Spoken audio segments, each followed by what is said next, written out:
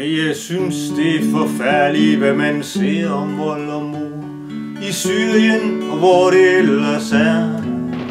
Når man tænker på, hvor hyggeligt vi har det lige her i det lille grønne småhul, hvor vi bor. Vi vil ikke have skamysler bag ved hvor ligusterhæk Nej, vi ønsker alle kampene af helvede til at væk. Vi er faktisk uden skyld i, at de krige her i landet kan vi heldigvis forliges. Tænk hvis folk fra Fyn og Sjælland brændte vores hus af. og smede bomber ind af vores dør. Så er det ganske ligegyldigt, hvor de siger de kommer fra, så skulle vi dele med nok få varmt deres ører. Ah, så slemme er vi ikke. Her i Jylland har vi fred. Sådan vil vi gerne have det. Vi tager Fyn og Sjælland med. Vi har gode gamle danske traditioner. Vi er fredelige børn og mænd og koner. Vi generer ingen nabo. Nej, hver har nok i sit. Men vi hjælper dig, hvis nogen har behov.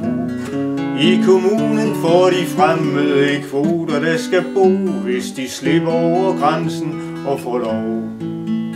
Ja, jeg synes det er i orden, da i hvert fald principielt, men er husen unødvendigt?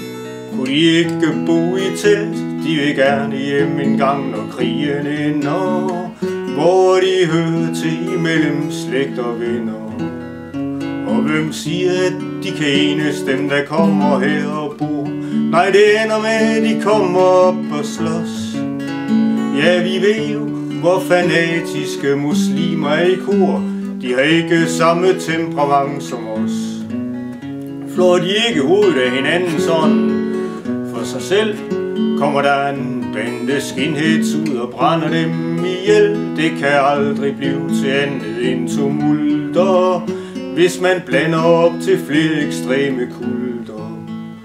At de sårene kom ind, det kan vi ikke gøre noget ved, men i vores lille land er alt for nær.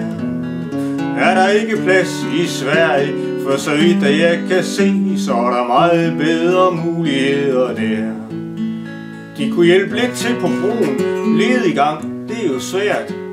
Og har de ikke haft arbejde før, så kan de få det lært. Nogle af dem, de er jo sikkert nok bekvemme, fordi jeg har hørt, hvor godt det er at bo herhjemme.